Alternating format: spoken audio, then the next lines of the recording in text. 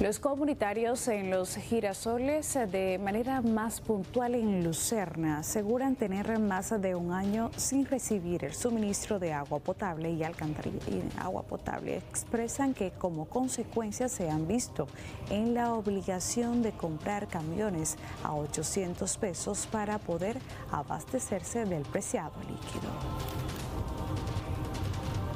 Del Cachón, de Lucerna. En esta zona el agua no llega ni un día, ni el otro, ni ninguno. Mire cómo es el asunto. Comprando agua. Comprando agua.